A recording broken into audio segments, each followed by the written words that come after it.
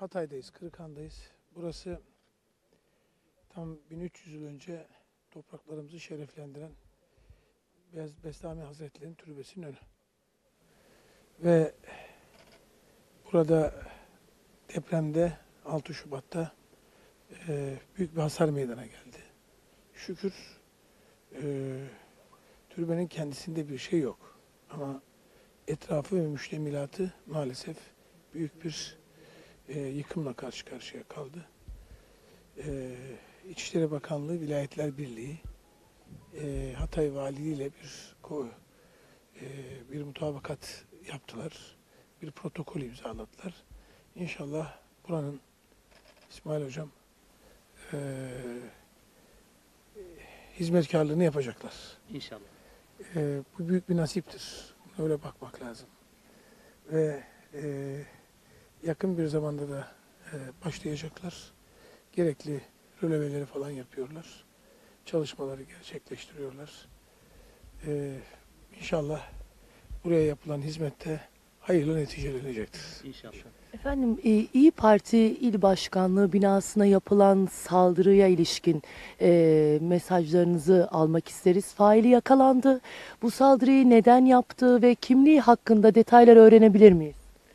Şimdi şunu söylemem gerekir.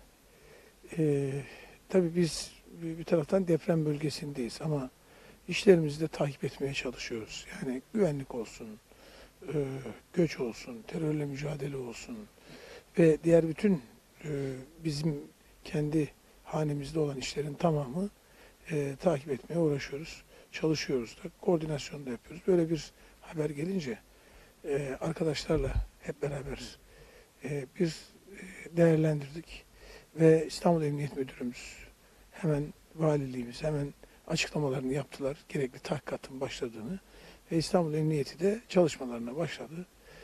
E, hemen etraftaki tertibatı değerlendirdiler ve orada e, bir inşaatın olduğunu ve akşamın saat 9.30-10 civarı bir silah sesleri geldiği konusunda bir takım e, görgü tanıklarının, duyumların olduğunu belirlediler. Ardından da e, olayın e, detaylarıyla e, ilgilenmeye başladılar. Ve gerekli ifadeleri alınca bir sonuca ulaştılar. E, karşı tarafta bir inşaat var. Bu inşaata 3-4 gündür bir takım hırsızlar da dadanmış. İşte radyatör falan veya buna benzer inşaat malzemeleri çalmak için. Onlar da herhalde buna ait güvenlik görevlileri ve bekçiler tutmuşlar. Bir de inşaatla ilgili bir orada usta gibi veya işte oranın yöneticisi veya kontrolü gibi birisi var. O da e, geceleyin burada beklerken e, hırsızları görünce bir şarjör boşaltmış. Ve zannediyorum ki bir e, e, bir kısmı da e, oraya veya bir orada gibi başka yere de isabet etmiş. E tabi yani burada e, akşam 21.30 haber verilen saat 11 ve oranın da e, arkadaşların söylediği tabii bizim buradan aldığımız bilgi. İki güvenlik görevlisi var. Onlar da duymamışlar olayı. Yani e, e, ilgili partinin e, iki güvenlik görevlisi var arkada. Ben. Onu duymamışlar. E, bu bazen e, bu işlerde e, olayın aydınlanmasını beklemek lazım. Bazen orası E5 üzeri. Yorgun mermi olabilir, başka bir şey olabilir. Veya hakikaten oraya tahammüden bir mesele olabilir. Bunların hepsini devlete emanet etmek lazım. Devlet bir vesileyle Türk polisi, güvenlik güçlerimiz bunları çözebilir. Ama dönüp buradan e, bir siyasal malzeme çıkarmak, hemen ortalığa düşüp yani e, bunun sebebi şudur diye bir çıkarım ortaya koymak şöyle e, en azından devletin kapısının eşiğinden kısa bir zaman da olsa geçmiş birisine ile örtüşmez, örtüşmemesi lazım. E, bu olaylar yani özellikle silahtı, e, saldırıydı. Bu olaylar siyasal istismarda veya siyasal çıkarda kullanılmaması gereken olaylardır. Kullanılmaması lazım.